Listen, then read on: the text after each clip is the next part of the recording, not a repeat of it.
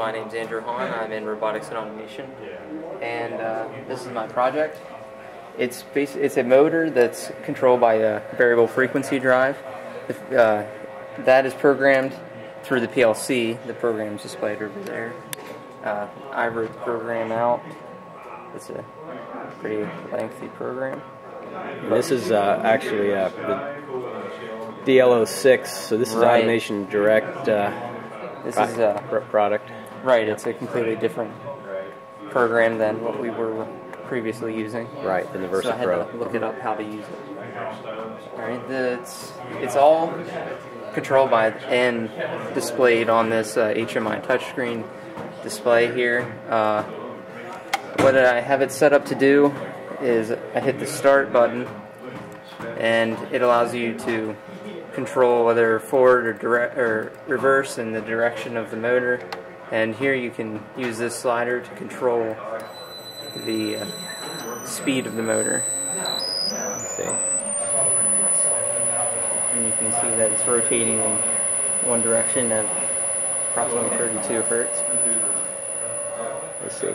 There's a there's a graph here that displays the red as the set point, the yellow is the actual speed of the motor, so you can see it ramping up. You can also see it ramping back down. Now, what's the advantage of the variable frequency drive versus the standard on-off motor? Well, the motor itself is just an on-off.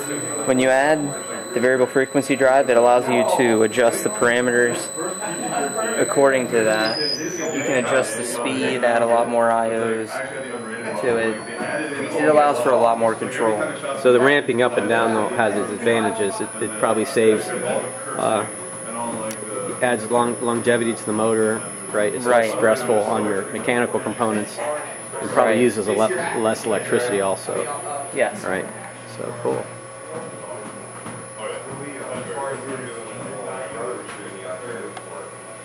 Now you've, now you've, you've been doing an internship in this program. Can you describe a little bit about how this program helped you with your internship and, and where are you working? Um, it was Knouse Foods in Biglerville, Okay. Pennsylvania.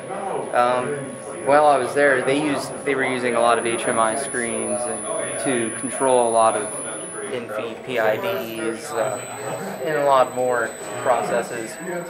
Maybe not particularly controlling a motor, but controlling the variables that would control a motor ultimately. And uh, there's a lot of PLC programming involved. Okay.